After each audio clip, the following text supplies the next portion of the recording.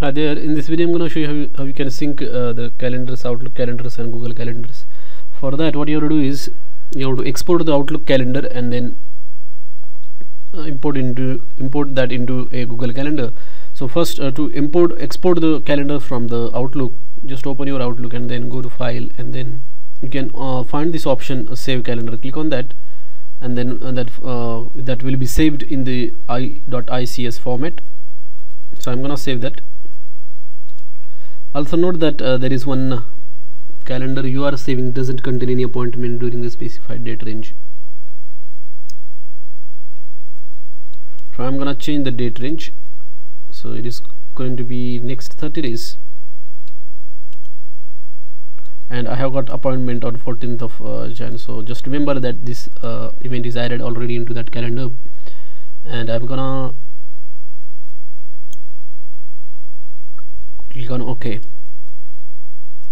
so as I hit OK that uh, calendar is exported now to view the calendar what you have to do is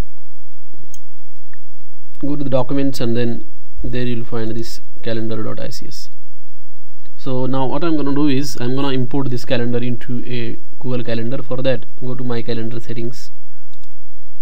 And then there you will find import calendar button. Click on that and then choose file then go to the .ics file open that and click on import. Once you hit import it processed one event because one event was there in that calendar successfully imported. So if I go to my calendar now so as you can see this calendar is event is uh, this was the one imported from the Microsoft Outlook.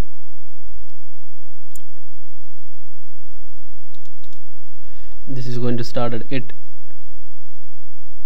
on 14th of Jan so same way you can see that over here if I click on that it's from 8 to 8.30 I'm being shown as a busy person.